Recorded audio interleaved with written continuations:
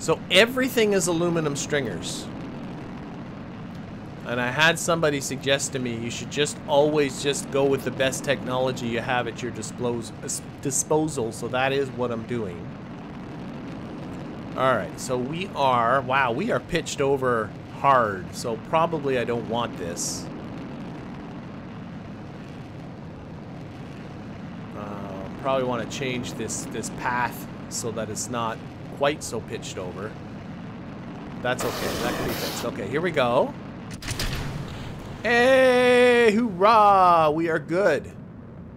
We are good, we are good, we are good. Uh, no our attitude control on this thing. But that's okay.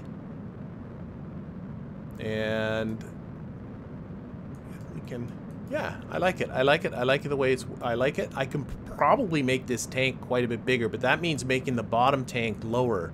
Um, or because I'm at the top end of the thrust weight, but maybe that's not a bad idea.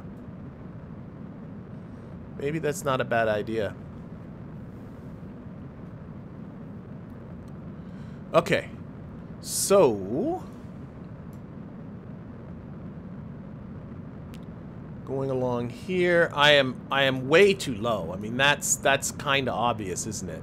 But we can we can adjust that. But I just want to see how this does, especially when the apogee gets over 150. If if that that issue has been solved. All right, on to the next one.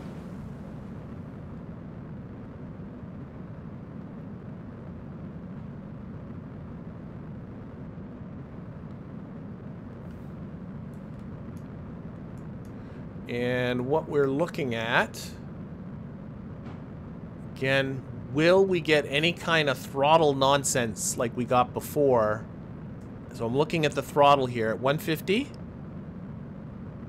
No dippy-do on the throttle, so excellent. Okay, okay, so thank you to whomever suggested to just get into here, keep throttle over 100%.